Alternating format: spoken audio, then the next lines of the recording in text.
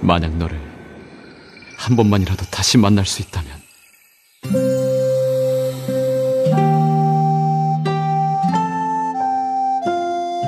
그 자카드라는 이름 대신에 인간들의 이름을 줄게. 지금은 한가하니까 어울려줄게.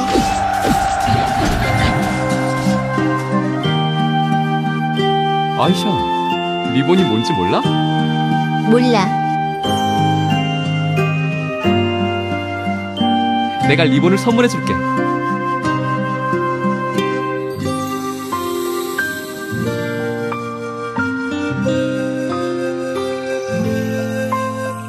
네가 인간들의 왕이 되건 말건 나하고는 아무 상관도 없었다고. 나는 너와 계속 같이 있고 싶어. 잘 있으렴, 인간.